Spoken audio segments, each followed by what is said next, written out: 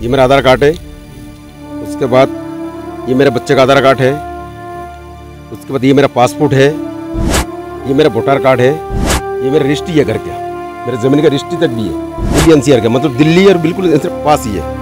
ये ये ये अपना सूर्यनगर थाना लिंग रोड जिला गाजियाबाद। हर चीज़ हमारा इसको सर्टिफिकेट देख लीजिए। पैसा नंबर देख लीजिए।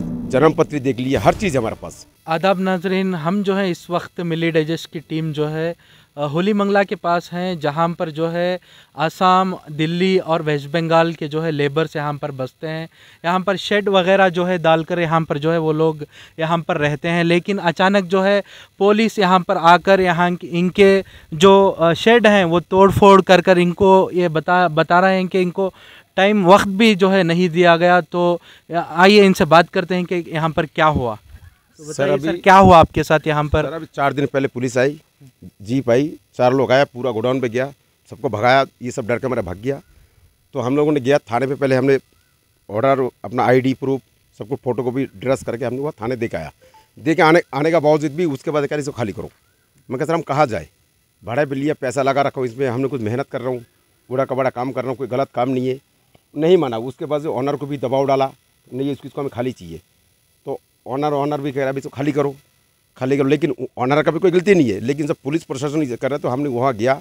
ये कोई हेडगुड़ी थाने का जो इंस्पेक्टर है और अपना ये सर्कल इंस्पेक्टर को गिरीश गिरीश उसका नाम है, उन्होंने आगे किया। उसके बाद जो आगे भी गया। कह रहा हमारा क्षेत्र में कोई भी कोई भी सपोर्ट नहीं रहेगा। मगर सर, उसका कारण बताओ। क्या गलती है? नहीं, तुम लोग बांग्लादेश मगर सर, बांग्लादेश के है हमारे पास लेबर जो आसाम का है और हमारे पास वेस्ट बंगाल का है और हम, और हमारे पास दिल्ली का है। जबकि उनका सबका आईडी प्रूफ हमने हुआ मौजूद हमने थाने पर दे आया आप इसको वेरीफिकेशन करो। लोकल थाने का एमएलए का सर्टिफिकेट भी हमारे पास है। ग्राम पंचायत का भी है। ज़मीन भी है घर है मम्मी पापा सब कुछ है ये। बच्चे का है हमारा सबका है। वो ज, ज, जब भी नहीं मिला बिल्कुल हम बिल्कुल ये बरसात में देखो बिल्कुल सब सब पर उतार दिए।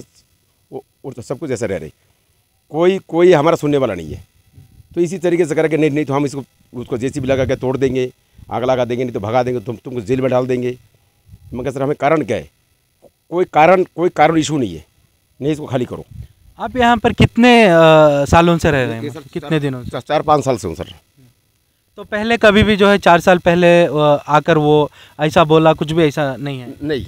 अभी अचानक आकर आपको? हाँ एकदम आसान है। और अचानक कह रहे वो भी पूछा तो तुम तुम बिरादरी कौन सा हो? तो हम कह हम मुस्लिम है। नहीं तो तुम लोग नहीं रहोगे यहाँ पे तुम बांग्लादेश का हम सर बांग्लादेश के नहीं है।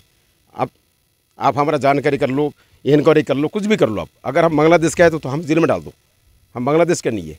हम इंडियन का नागरिक है और हम दिल्ली वाला रहने वाला है उत्तर प्रदेश गाजियाबाद का हमारा घर है। और हर चीज़ है हमारा स्कूल सर्टिफिकेट देख लिए पैसा नंबर देख लिए जन्म पत्री देख लिए हर चीज़ है हमारे पास। तो पुलिस सिर्फ़ आपके ऊपर जो है शक कर रही है कि आप बांग्लादेशी हो? जी। यही बोला है उसने। मैं कह हम बांग्लादेश का नहीं नहीं लेबर बांग्लादेश मैं कहता सर कोई बांग्लादेश का नहीं है। अगर कोई बांग्लादेश की गैर कानूनी रहता है तो आप कानूनी कार्रवाई कर लिए। जेल में डाल दो। तो वो लेके मारे नहीं हम हम तुम्हें रहने नहीं देंगे।